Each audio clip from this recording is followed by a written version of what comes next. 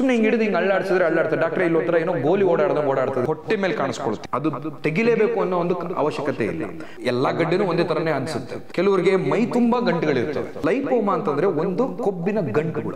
ಅದು ಕ್ಯಾನ್ಸರ್ ಆಗಿ ಬದಲಾಗ್ತಿರಬಹುದಾ? ಅದು ಒಂದ್ಸತಿ ತೆಗೆದ ಮೇಲೆ ಅದು ಮತ್ತೆ ಬರೋದೇ ಇಲ್ಲ ಅಂತ ಹೇಳಲಿಕ್ಕೆ ಆಗುದಿಲ್ಲ. ನಮಸ್ಕಾರ ವೀಕ್ಷಕರೇ.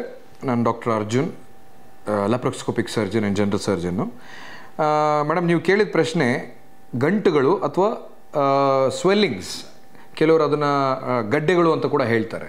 ಈ ಗಡ್ಡೆಗಳಲ್ಲಿ ಸುಮಾರು ಬೇರೆ ಬೇರೆ ಥರ ವೆರೈಟೀಸ್ ಇದ್ದಾವೆ ಎಲ್ಲ ಗಡ್ಡೆಗಳು ಒಂದೇ ಅಲ್ಲ. ಬೇರೆ ಬೇರೆ ಥರ ಗಡ್ಡೆಗಳು ಸಾಮಾನ್ಯ ಜನರಿಗೆ ಅದು ಯಾವುದು ಎಲ್ಲ ಗಡ್ಡೆನೂ ಒಂದೇ ಥರನೇ ಅನಿಸುತ್ತೆ. ಆದರೆ ನಾವು ನೋಡಿದಾಗ ಕೆಲವು ಸೈನ್ಸ್ ಅಂತೀವಿ ಅದರಲ್ಲಿ. ನಾನು ಕಳೆದ ವಿಡಿಯೋದಲ್ಲಿ ಹೇಳಬೇಕಾದ್ರೆ ಸೈನ್ಸ್ ಆ್ಯಂಡ್ ಸಿಮ್ಟಮ್ಸ್ ಅಂತ ನಾನು ಹೇಳಿದ್ದೆ. ಪೇಷಂಟ್ ನಮಗೆ ಏನು ಹೇಳ್ತಾರೋ ಅದು ಸಿಮ್ಟಮ್ಸ್ ಅಂತೀವಿ. ನಾವು ಪೇಷಂಟಲ್ಲಿ ಏನು ಹುಡುಕಿ ಅದನ್ನು ಕಂಡುಹಿಡಿತೀವೋ ಅದನ್ನು ಸೈನ್ಸ್ ಅಂತೀವಿ. ಸೊ ಅದರ ಆಧಾರದ ಮೇಲೆ ನಾವು ಒಂದೊಂದು ಸ್ವೆಲ್ಲಿಂಗನ್ನು ಒಂದೊಂದು ಸೈನ್ಸ್ ಇರ್ತವೆ. ಸೊ ಅದ್ರ ಮೇಲೆ ನಾವು ಬೇರೆ ಬೇರೆ ಥರ ಸ್ವೆಲ್ಲಿಂಗ್ಸು ಅಂದರೆ ಗಂಟುಗಳು ಅಥವಾ ಗಡ್ಡೆಗಳು ಮೈಯಲ್ಲಿ ಕಾಣಿಸ್ಕೊಳ್ತವೆ. ಸಾಮಾನ್ಯವಾಗಿ ಕಾಣಿಸುವಂಥವು ಕೆಲವು ಸ್ವೆಲ್ಲಿಂಗ್ಸ್ಗಳು ಈಗ ನೀವು ಹೇಳ್ದಂಗೆ ಒಂದೇ ಒಂದು ಗಂಟು ಇರ್ಬೋದು ಒಂದೇ ಒಂದು ಗಡ್ಡೆ ಇರ್ಬೋದು, ಅಥವಾ ಮಲ್ಟಿಪಲ್ ಸ್ವೆಲ್ಲಿಂಗ್ಸು ಕೆಲವರಿಗೆ ಮೈ ತುಂಬ ಗಂಟುಗಳಿರ್ತವೆ. ಅದು ಸರ್ವೇ ಸಾಮಾನ್ಯವಾಗಿ ಭಾಳ ಕಾಮನ್ನಾಗಿ ಕಾಣಿಸೋದು ಅನ್ನೋದನ್ನು ಲೈಪೋಮಾ ಅಂತೀವಿ. ಅದೇನು ಈ ಕೊಬ್ಬಿನ ಗಡ್ಡೆಗಳು. ಮೈಯಲ್ಲಿ ಚರ್ಮದ ಕೆಳಗಡೆ ಕೊಬ್ಬಿನ ಅಂಶ ಇರ್ತದೆ, ಅಂದರೆ ಫ್ಯಾಟ್ ಸೊ ಚರ್ಮದಲ್ಲಿ ನೀವು ಭಾಳ ಕಾಮನಾಗಿ ಹೇಳಬೇಕು ಅಂತಂದರೆ ಎಪಿಡರ್ಮಿಸ್ ಆ್ಯಂಡ್ ಹೈಪೋಡರ್ಮಿಸ್ ಎರಡು ಲೇಯರ್ಸು ಅದ್ರ ಕೆಳಗಡೆ ಸಬ್ಕ್ಯೂಟೇನಿಯಸ್ ಪ್ಲೇನ್ ಅಂತ ಇರ್ತದೆ. ಈಗ ಚರ್ಮದಲ್ಲಿ ನಾವು ಮೆಡಿಕಲ್ ಕಾಲೇಜಲ್ಲಿ ಮಕ್ಕಳಿಗೆ ಹೇಳ್ಕೊಡ್ಬೇಕಾದ್ರೆ ಐದೈದು ಲೇಯರ್ಗಳಿರ್ತವೆ ಅಂದರೆ ಒಂದೊಂದು ಲೇಯರ್ಗೂ ಒಂದೊಂದು ಹೆಸರು ಇರ್ತದೆ. ಆದರೆ ಕಾಮನ್ ಆಗಿ ಎಪಿಡರ್ಮಿಸ್ ಅಂದರೆ ಮೇಲ್ಭಾಗ ನಮಗೆ ಕಾಣುವಂಥದ್ದು ಚರ್ಮ ಭಾಗ ಏನು? ಇಡೀ ದೇಹದಲ್ಲಿ ತಲೆಯಿಂದ ಹಿಡಿದು ಬೆರಳು ತುದಿಯವರೆಗೂ ಏನು ಚರ್ಮ ಇರುತ್ತೋ ಅದು ಎಪಿಡರ್ಮಿಸ್ ಮತ್ತು ಅದ್ರ ಕೆಳಗಡೆ ಇರೋದು ಹೈಪೋಡರ್ಮಿಸ್ ಅದು ನಮಗೆ ಕಾಣೋದಿಲ್ಲ. ಗಾಯ ಆದಾಗ ಬೆಳ್ಳಿಗೆ ಏನು ತರ್ಚ್ಕೊಂಡಾಗ ಕಾಣುತ್ತೋ ಅದು ಹೈಪೋಡರ್ಮಿಸ್ ಅದರ ಕೆಳಗೆ ಹೋದರೆ ಅಲ್ಲಿ ಬಂದು ನಮಗೆ ಕೊಬ್ಬು, ಅಂದರೆ ಫ್ಯಾಟ್ ಇರ್ತದೆ. ಅದನ್ನು ನಾವು ಸಬ್ಕ್ಯೂಟೇನಿಯಸ್ ಪ್ಲೇನ್ ಅಂತೀವಿ. ಅಲ್ಲಿ ನರಗಳು ಬರ್ತವೆ, ರಕ್ತನಾಳಗಳು ಬರ್ತವೆ, ಇವೆಲ್ಲ ಬರ್ತವೆ.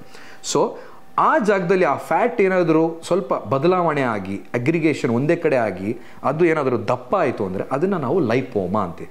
ಲಿಪಿಡ್ ಅಂತಂದರೆ ಫ್ಯಾಟು ನಾವು ಕೊಬ್ಬನ್ನ ಕೊಬ್ಬನ್ನು ಮೆಡಿಕಲ್ ಟರ್ಮಲ್ಲಿ ಲಿಪಿಡ್ ಅಂತೀವಿ. ಸೊ ಲೈಪೋಮಾ ಲಿಪಿಡ್ ಪ್ರೊಫೈಲ್ ಅಂತ ನೀವು ಇವಾಗ ಏನಾದರೂ ಕೊಲೆಸ್ಟ್ರಾಲ್ ಇದೆ ಡಾಕ್ಟ್ರೇ ನನಗೆ ಅಂತ ಡಾಕ್ಟ್ರ್ ಹತ್ರ ಹೋದರೆ ಡಾಕ್ಟರ್ ನಿಮಗೆ ಲಿಪಿಡ್ ಪ್ರೊಫೈಲ್ ಅಂತ ಬರ್ಕೊಡ್ತಾರೆ. ಅದರಲ್ಲಿ ಏನು, ರಕ್ತದಲ್ಲಿ ಈ ಕೊಬ್ಬಿನ ಅಂಶ ಎಷ್ಟಿದೆ ಅಂತ ಕಂಡುಹಿಡಿತದೆ ಸೊ ಅದೇ ರೀತಿ ಆ ಲಿಪಿಡ್ ಲೈಪೋಮಾ ಅಂತಂದರೆ ಓಮಾ ಅಂತಂದರೆ ಸ್ವೆಲ್ಲಿಂಗು ಸೊ ಲೈಪೋಮಾ ಅಂತಂದರೆ ಒಂದು ಕೊಬ್ಬಿನ ಗಂಟುಗಳು. ಅದು ಎಲ್ಲಿರ್ತವೆ?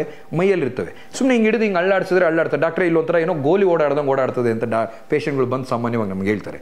ಕೆಲವ್ರಿಗೆ ಎಲ್ಲೋ ಒಂದೇ ಒಂದು ಇರ್ತದೆ. ಅದು ಭಾಳ ನಿಧಾನಕ್ಕೆ ಬೆಳೆಯುವಂಥ ಒಂದು ಸ್ವೆಲ್ಲಿಂಗು ಆ್ಯಂಡ್ ಲೈಪೋಮಾಗ ನಾವು ನಮ್ಮ ಮೆಡಿಕಲ್ ಸ್ಟೂಡೆಂಟ್ಸ್ಗೆ ಏನು ಹೇಳ್ಕೊಡ್ತೀವಿ ಅಂದರೆ it is called a universal swelling ಅಂದರೆ ಅದು ಬರೀ ಚರ್ಮದ ಕೆಳಗಡೆ ಅಷ್ಟೇ ಅಲ್ಲ, ಎಲ್ಲಿ ಬೇಕಾದ್ರೂ ಬರ್ಬೋದು. ಬ್ರೈನ್ ಒಂದು ಬಿಟ್ಟು ಬೇರೆ ಎಲ್ಲಿ ಬೇಕಾದ್ರೂ ಕರಳು ಒಳಗಡೆ ಬರ್ತದೆ. ಅದನ್ನು ನಾವು ಇಂಟೆಸ್ಟೈನಲ್ ಲೈಪೋಮಾ ಅಂತೀವಿ. ಅದರಿಂದ ಆಗೋಂಥ ಸಮಸ್ಯೆಗಳೇ ಬೇರೆ.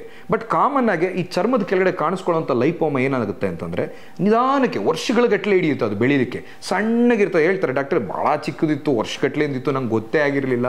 ಎಲ್ಲೋ ಇತ್ತು ಒಂಚೂರು, ಎಲ್ಲೋ ಹೊಟ್ಟೆ ಮೇಲೆ ಇತ್ತು. ಕಾಮನ್ ಆಗಿ ಕಾಣಿಸ್ಕೊಳ್ಳೋದು ಅಂದರೆ ಹೊಟ್ಟೆ ಮೇಲೆ ಕಾಣಿಸ್ಕೊಳ್ಳುತ್ತೆ. ಇವ್ರು ಹೊಟ್ಟೆ ಯಾಕೆಂದರೆ ದಪ್ಪ ಇರೋದ್ರಿಂದ ಅವ್ರಿಗೆ ಗೊತ್ತೇ ಆಗಿರಲ್ಲ. ಎಲ್ಲೋ ಸ್ನಾನ ಮಾಡ್ಬೇಕಾದ್ರೆ ಮುಟ್ಟು ನೋಡ್ಕೋಬೇಕು ಅಥವಾ ಮಲಗಿರ್ಬೇಕಾದ್ರೆ ಒಂದು ಸ್ವಲ್ಪ ಚುಚ್ಚುತ್ತೆ. ಏನೋ ಅಡ್ಡ ಬರ್ತಿದೆಯಲ್ಲ, ಏನೋ ಬಟ್ ಅಲ್ಲಿ ಬೆಡ್ ಮೇಲೆ ನೋಡ್ತಾರೆ, ಏನೂ ಇರೋದಿಲ್ಲ. ಆಮೇಲೆ ಯಾವತ್ತೊಂದು ದಿನ ಸ್ನಾನ ಮಾಡ್ಬೇಕಾದ್ರೆ ಮೈ ಒರೆಸ್ಕೋಬೇಕಾದ್ರೆ ನೋಡ್ತಾರೆ, ಮುಟ್ಟು ನೋಡ್ತಾರೆ, ಏನೋ ಒಂದು ಗೋ, ಗೋಲಿ ಥರ ಏನೋ ಸಿಗುತ್ತೆ ಕೈಗೆ. ಕೆಲವ್ರಿಗೆ ಮೈ ತುಂಬ ಇರ್ತದೆ, ನೂರಾರು ಇರ್ತವೆ. ಸೊ ಈ ಲೈಪೋಮಾ ಅನ್ನೋದು ಇದು ಕೊಬ್ಬಿನ ಗಡ್ಡೆ ಅಷ್ಟೇ. ಬಟ್ ಏನು ರಿಸ್ಕು ಅದರಿಂದ ಏನಾದರೂ ತೊಂದರೆ ಆಗುತ್ತಾ ಮುಂದೆ? ಯಾವುದೇ ಕಾಯಿಲೆ ಆಗಲಿ ನಾನು ಹೇಳ್ದಂಗೆ ಮುಂಚೆ ಕಾಂಪ್ಲಿಕೇಶನ್ಸ್ ಈಗ ಯಾವುದೇ ಒಂದು ಕಾಯಿಲೆ ಅದು ಪ್ರೋಗ್ರೆಸ್ ಆಗುತ್ತೆ, ಅಂದರೆ ಮುಂದುವರಿಯುತ್ತೆ. ಅದು ಯಾವತ್ತೂ ಹಂಗೆ ಇರೋದು, ಹೆಂಗಿದೆಯೋ ಹಂಗೆ ಇರೋದಿಲ್ಲ. ಯಾವುದೇ ಒಂದು ಕಾಯಿಲೆ ಆಗಲಿ, ಇಲ್ಲ ಅದು ಕಾಯಿಲೆ ವಾಸಿಯಾಗಿ ಗುಣ ಆಗಬೇಕು, ಇಲ್ಲ ಅದರಿಂದ ತೊಂದರೆಗಾಗ್ತಾ ಮುಂದೆ ದೊಡ್ಡದಾಗ್ತಾ ಹೋಗಬೇಕು. ಸೊ ಇದು ಒಂದು ಕಾಯಿಲೆ. ಈ ಕೆಲವ್ರಿಗೇನೋ ಜೆನೆಟಿಕಲಿನೇ ಬಂದಿರುತ್ತೆ. ಇದಕ್ಕೆ ಯಾಕೆ ಬರುತ್ತೆ, ಹೆಂಗೆ ಬರುತ್ತೆ? ನಿಖರವಾದ ಒಂದು ಏನಂತಾರೆ ಎಕ್ಸ್ಪ್ಲನೇಷನ್ ಇಲ್ಲ ಅದಕ್ಕೆ. ಜೆನೆಟಿಕಲಿ ಕೆಲವ್ರಿಗೆ ವಂಶ ಪಾರಂಪರ್ಯವಾಗಿ ಎಲ್ರಿಗೂ ಇರುತ್ತೆ. ತಂದೆಗಿರುತ್ತೆ, ಮಕ್ಳಿಗೆ ಬಂದಿರುತ್ತೆ, ತಾಯಿಗಿರುತ್ತೆ, ಮಕ್ಳಿಗೆ ಬಂದಿರುತ್ತೆ. ಸಾಧ್ಯತೆ ಇದೆ. ಅಥವಾ ಕೆಲವ್ಗೆ ಏನೂ ಇಲ್ಲರಲ್ಲ ನಮ್ಮ ನಮ್ಮ ಇಡೀ ಫ್ಯಾಮಿಲಿಯಲ್ಲಿ ಯಾರಿಗೂ ಇಲ್ಲ ಸರ್. ನಾನು, ನನಗೆ ಮಾತ್ರ ಹೆಂಗೆ ಬಂತು ಅಂತ. ಅದಕ್ಕೆ ಎಕ್ಸ್ಪ್ಲನೇಷನ್ ಇಲ್ಲ. ಬಂದಿದೆ ಒಟ್ಟು ಅಷ್ಟೇ so it is it is idiopathic in nature ಅಂತೀವಿ. ಸೊ ಅದು ಒಂದೇ ಒಂದು ಎಲ್ಲೋ ಇತ್ತು, ಅದು ನಿಮಗೆ ತೊಂದರೆ ಕೊಡ್ತಿತ್ತು ಅಂತಂದರೆ, ಸಾಮಾನ್ಯವಾಗಿ ಏನು ತೊಂದರೆ ಕೊಡುತ್ತೆ? ಒಂದು ಕಾಸ್ಮೆಟಿಕ್ ಅಂತೀವಿ. ಅಂದರೆ ನೋಡಲಿಕ್ಕೆ ಅಸಹ್ಯ. ಕೆಲವರಿಗೆ ಎಲ್ಲೋ ಕತ್ತತ್ರ ಇರುತ್ತೆ, ಈ ಬೆನ್ನ ಹತ್ರ ಇರುತ್ತೆ, ಈ ಕತ್ತಿನ ಭುಜ ಭಾಗದ ಹತ್ರ ಇರ್ತದೆ, ಇಷ್ಟು ತಪ್ಪ ಇರುತ್ತೆ. ನೋಡ್ಲಿಕ್ಕೆ ಅಸಹ್ಯವಾಗಿ ಕಾಣ್ತಿದೆ. ಅದು ನೋಡ್ಲಿಕ್ಕೆ ಚೆನ್ನಾಗಿ ಕಾಣ್ತಿಲ್ಲ. ಬೇಡ, ತೆಗೆಸ್ಬೇಕು. ಹೌದು. ಕಾಸ್ಮೆಟಿಕ್ ಒಂದು. But that is not a ಏನಂತಾರೆ ಅಬ್ಸಲ್ಯೂಟ್ ಇಂಡಿಕೇಶನ್ ಅದು ತೆಗಿಲೇಬೇಕು ಅನ್ನೋ ಒಂದು ಅವಶ್ಯಕತೆ ಇಲ್ಲ. ಆದರೆ, ಏನಾಗುತ್ತೆ ಬಿಟ್ಟರೆ ಅಂದರೆ ಕಾಂಪ್ಲಿಕೇಶನ್ ಸಪಾನಿಫಿಕೇಷನ್ ಅನ್ನೋದು ಒಂದು ಕಾಂಪ್ಲಿಕೇಶನ್ನು ಕ್ಯಾಲ್ಸಿಫಿಕೇಶನ್ ಅನ್ನೋದು ಒಂದು ಕಾಂಪ್ಲಿಕೇಶನ್ ಇವೆರಡೂ ಭಾಳ ತುಂಬ ನಿಧಾನಕ್ಕಾಗುವಂಥ ಒಂದು ಕಾಂಪ್ಲಿಕೇಶನ್ ಯಾವುದು? ವರ್ಷಗಟ್ಟಲೆ ಹಿಡಿಯುತ್ತೆ ಇದಕ್ಕೆ. ಆದರೆ ಒಂದು ಕಾಂಪ್ಲಿಕೇಶನ್ ಏನು? ಲೈಪೋಮಾ ಅನ್ನೋದು ಯಾವುದೇ ಒಂದು ಗಂಟು ಅಥವಾ ಒಂದು ಸ್ವೆಲ್ಲಿಂಗು ಯಾವತ್ತೇ ಇದ್ರೂ ಬದಲಾವಣೆ ಆಗಿ ಅದರಲ್ಲಿ ಕ್ಯಾನ್ಸರಸ್ ಚೇಂಜಸ್ ಅಂತೀವಿ. ಅಂದರೆ ಕ್ಯಾನ್ಸರಿನ ಅದು ಲಕ್ಷಣಗಳು ಅದರಲ್ಲಿ ಕಾಣಿಸ್ಕೊಳ್ಳೋವಂಥ ಒಂದು ಸಾಧ್ಯತೆ ಯಾವುದೇ ಒಂದು ಗಂಟಿಗಾಗಲಿ ಅಥವಾ ಒಂದು ಗಡ್ಡೆಗಾಗಲಿ ಇರುತ್ತೆ. ಎಲ್ಲೇ, ಮೈಯಲ್ಲಿ ಎಲ್ಲೇ ಇರಲಿ. ಅದು ಬದಲಾವಣೆ ಆಗೋವಂಥ ಚಾನ್ಸಸ್ ಇರುತ್ತೆ. ಅದರಲ್ಲಿ ಮುಖ್ಯವಾಗಿ ಈ ಲೈಪೋಮ ಕೂಡ ಒಂದು. ಯಾವಾಗ ಅದು ಬದಲಾವಣೆ ಆಗುತ್ತೋ ಅದನ್ನು ನಾವು ಸಾರ್ಕೋಮ್ಯಾಟಸ್ ಚೇಂಜಸ್ ಅಂದರೆ ಅವಾಗ ಅದು ಲೈಪೋಮಾಯಿಂದ ಲೈಪೋ, ಸಾರ್ಕೋಮಾ ಅಂತೀವಿ ಅದು. Lipoma is a benign condition benign ಅಂದರೆ ಅದು ಕ್ಯಾನ್ಸರ್ ಅಲ್ಲ ಅಂತ. ಅದು ಯಾವಾಗ ಕ್ಯಾನ್ಸರ್ ಆಗಿ ಮಾರ್ಪಾಡಾಗೋ, ಬದಲಾವಣೆ ಆಗೋ ಚಾನ್ಸಸ್ ಸಾಧ್ಯತೆ ಆಗುತ್ತೋ, ಆಗ ಅದರಲ್ಲಿ ಏನೇನು ಬದಲಾವಣೆ ಆಗ್ಬೋದು? ಒಂದು ಚಿಕ್ಕ ಸ್ವೆಲ್ಲಿಂಗ್ ಇಷ್ಟೇ ಇರೋವಂಥದ್ದು ಏಕ್ದಮ್ ವರ್ಷಗಟ್ಲೆಯಿಂದ ಇಷ್ಟೇ ಇತ್ತು, ಎರಡು ಮೂರು ವರ್ಷದಿಂದ ಇದೆ ಸರ್, ಇಷ್ಟೇ ಚಿಕ್ಕದಿತ್ತು. ಈಗ ಒಂದು ನಿನ್ನೆ, ಮೊನ್ನೆ ಒಂದು ಎರಡು ತಿಂಗಳಿಂದ ದೊಡ್ಡದಾಗ್ತಾ ಬರ್ತಾ ಇದೆ ಅಂತ ಅಂದಾಗ ಆವಾಗ ನಮಗೆ ಅದ್ರ ಬಗ್ಗೆ ಯೋಚನೆ ಸ್ಟಾರ್ಟ್ ಆಗುತ್ತೆ. ಅದು ಕ್ಯಾನ್ಸರ್ ಆಗಿ ಬದಲಾಗ್ತಿರ್ಬಹುದಾ? ಯಾಕೆಂದರೆ ಸಣ್ಣ ಗಡ್ಡೆ, ವರ್ಷಗಟ್ಟಲೆಯಿಂದ ಸಣ್ಣದಾಗಿ ಇದ್ದಿದ್ದು ಸಡನ್ನಾಗಿ ದೊಡ್ಡದಾಗ್ತಿದೆ ಅಂತಂದರೆ ಅದು ಕ್ಯಾನ್ಸರ್ ಆಗಿ ಬದಲಾಗುವಂಥ ಬದಲಾಗ್ತಿದೆ ಅಂತ ಅರ್ಥ. ಸೊ ಆವಾಗ ಅದು ಒಂದು ಲಕ್ಷಣ, ಆವಾಗ ಅದನ್ನು ತೆಗಿಲೇಬೇಕು.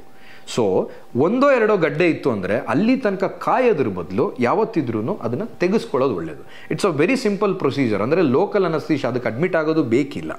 ಸುಮಾರು ನಾವು ಪ್ರತಿನಿತ್ಯ ಆ ಥರ ಕೆ ಪೇಷಂಟ್ ಬರ್ತಿರ್ತಾರೆ. ನಾವು ಪ್ರತಿನಿತ್ಯ ಅದನ್ನು ಆಪರೇಷನ್ ಮಾಡ್ತೀವಿ. ಬಂದಾಗ ಒಂದು ಇಂಜೆಕ್ಷನ್ ಕೊಡ್ತೀವಿ. ಆ ಜಾಗದಲ್ಲಿ ಸುತ್ತ ಒಂದು ಮರಗಡಕ್ಕೆ ಒಂದು ಇಂಜೆಕ್ಷನ್ ಲೋಕಲ್ ಅನಸ್ತೀಶ್ ಅಂತ ಕೊಡ್ತೀವಿ. ಅದಕ್ಕೊಂದು ಸಣ್ಣದೊಂದು ಇನ್ಸಿಷನ್ ಹಾಕಿ ಅದನ್ನು ಈಚೆ ತೆಗೆದು ಹೊಲಿಗೆ ಹಾಕ್ಬಿಡ್ತೀವಿ. ಅಷ್ಟೇ ಭಾಳ ಸಿಂಪಲ್ ಅದು. ಸೊ ಲೈಪೋಮ ಇದು ಇನ್ನೊಂದು ಏನು ಅಂತಂದರೆ ವೇರಿಯಂಟ್ ಇದರಲ್ಲಿ ಮಲ್ಟಿಪಲ್ ನಾನು ಹೇಳ್ದಂಗೆ ಕೆಲವರಿಗೆ ಮೈ ತುಂಬ ಇರುತ್ತೆ. ಕೈಯಲ್ಲೇ ಒಂದು ಹತ್ತು ಹದಿನೈದು ಇರ್ತವೆ, ಈ ಕೈಯಲ್ಲಿ ಒಂದು ಹತ್ತು ಹದಿನೈದು ಇರ್ತದೆ, ಎದೆ ಭಾಗದಲ್ಲಿ, ಹೊಟ್ಟೆ ಭಾಗದಲ್ಲಿ, ಬೆನ್ನಲ್ಲಿ, ಕಾಲುಗಳಲ್ಲಿ, ತೊಡೆಯಲ್ಲಿ ಎಲ್ಲ ಕಡೆಯೂ ಇರ್ತದೆ. ಸರ್ ಅವಾಗ ಎಲ್ಲಾನು ತೆಗಿಬೇಕಾಗ್ತದ? ಇಲ್ಲ. ಅದನ್ನೇ ನಾನು ಹೇಳಿದ್ದು. ಲಕ್ಷಣಗಳು ಯಾವಾಗ ಅದರಲ್ಲಿ ಬದಲಾಗುವಂಥ ಲಕ್ಷಣಗಳು ಕಾಣಿಸ್ಕೊಳ್ತವೋ, ಕೆಲವು ಸತಿ ನೋವು ಬರೋಕ್ಕೆ ಶುರುವಾಗುತ್ತೆ. ಅದು ಯಾಕೆ ನೋವು ಬರುತ್ತೆ ಅಂದರೆ ಅದ್ರ ಪಕ್ಕದಲ್ಲಿರೋ ಅದು ಯಾವುದೋ ಒಂದು ನರ ಪಾಸ್ ಆಗ್ತಿರುತ್ತೆ. ಅದಕ್ಕೆ ಅದು ಹೋಗಿ ಅದು ಒತ್ತದೋ ಅಥವಾ ಅದ್ರ ಒಳಗಡೆ ಅದು ಸೇರ್ಕೊಳ್ಳೋದು, ಅವಾಗ ಅದನ್ನು ನ್ಯೂರೋಲೈಪೋಮಾ ಅಂತೀವಿ. ಸೊ ಅವಾಗ ಅಂಥ ಸಮಾಜದಲ್ಲಿ ಅದು ಯಾವಾಗ ಅದು ಬದಲಾವಣೆ ಆಗುತ್ತೋ ಅದರಲ್ಲಿ, ಅದರ ಅಥವಾ ಏನೋ ತೊಂದರೆ ಕೊಡೋಕ್ಕೆ ಶುರು ಆಗುತ್ತೋ, ಆ ಅಂಥ ಸ್ವೆಲ್ಲಿಂಗ್ಸ್ ಮಾತ್ರ ತೆಗೆಸ್ಕೊಂಡ್ರೆ ಸಾಕಾಗ್ತದೆ. ಅಂದರೆ ಗಮನ ಇರಬೇಕು. ಯಾಕೆಂದರೆ ಮೈ ತುಂಬ ಇರೋವಂಥವ್ರಿಗೆ ಇರೋ ಬರೋದನ್ನೆಲ್ಲ ತೆಗೆಯೋವಂಥ ಅವಶ್ಯಕತೆ ಇಲ್ಲ, ಬೇಕು ಇಲ್ಲ, ತೆಗೆಯೋದು ಆಗೋದೂ ಇಲ್ಲ. ಯಾಕೆಂದರೆ ತೆಗೆದ ಮೇಲೆ ಮತ್ತೊಂದು ಪ್ರಶ್ನೆ ಏನು ಬರುತ್ತೆ ಅಂದರೆ ಡಾಕ್ಟರ್ ಇವಾಗ ಇದು ತೆಗ್ದಿದ್ದೀರಾ? ಇಲ್ಲೊಂದಿದೆ, ಈ ಕೈಯಲ್ಲಿ ಒಂದಿದೆ. ಇವಾಗ ಇದು ನಂಗೆ ಭಾಳ ಚಿಕ್ಕದಿದೆ. ಇದು ಸ್ವಲ್ಪ ದೊಡ್ಡದಿದೆ ಅಸೈವ ಕಾಣ್ತಾ ಇದೆ, ಅಥವಾ ಇದರಿಂದ ನೋವು ಬರ್ತಾ ಇದೆ, ಅಥವಾ ನನಗೆ ಇಲ್ಲಿ ಸೊಂಟದ ಹತ್ರ ಇದೆ, ಮಲಗಬೇಕಾದ್ರೆ ಚುಚ್ತಾ ಇದೆ, ಕೆಲಸ ಮಾಡಬೇಕಾದ್ರೆ ಅಡ್ಡ ಬರ್ತಾ ಇದೆ, ನನಗೆ ಕೆಲಸ ಮಾಡಬೇಕಾದ್ರೆ ನೋವು ಬರುತ್ತೆ, ನಿಂತ್ಕೊಂಡು ತುಂಬ ಹೊತ್ತು ಕೆಲಸ ಮಾಡಿದ್ರೆ ನೋವು ಬರುತ್ತೆ, ಅದನ್ನು ತೆಗೆಸಬೇಕು. ಆದರೆ ತೆಗೆಸಿದ ಮೇಲೆ ಮತ್ತೆ ಬರೋ ಚಾನ್ಸಸ್ ಇರುತ್ತಾ? ಖಂಡಿತ ಇರುತ್ತೆ. ಸೊ ಮತ್ತೆ ಬರೋದಿಲ್ಲ ಅಂತಲ್ಲ. ಯಾಕೆಂದರೆ ಲೈಪೋಮಾ ಅನ್ನೋದು ಇಡಿಯೋಪ್ಯಾಥಿಕ್ ಇಟಿಯಾಲಜಿ ಅಂದರೆ ಕಾರಣ ನಮಗೆ ಏನಕ್ಕೆ ಅಂತ ಗೊತ್ತಿಲ್ಲದೆ ಇರೋದ್ರಿಂದ ಅದು ಒಂದು ಒಂದ್ಸತಿ ತೆಗೆದ ಮೇಲೆ ಅದು ಮತ್ತೆ ಬರೋದೇ ಇಲ್ಲ ಅಂತ ಹೇಳಲಿಕ್ಕೆ ಆಗೋದಿಲ್ಲ. ಆದರೆ ಬಂದಿರೋದಂತೂ ಉಂಟು. ಅದರಿಂದ ಮುಂದೆ ತೊಂದರೆ ಆಗಬಹುದು ಅಥವಾ ಆಗಲೇ ತೊಂದರೆ ಆಗ್ತಿದೆ ಅಂತಾದರೆ ಅದನ್ನು ತೆಗೆಸ್ಕೊಳ್ಳೋದು ಬಹಳ ಸೂಕ್ತ.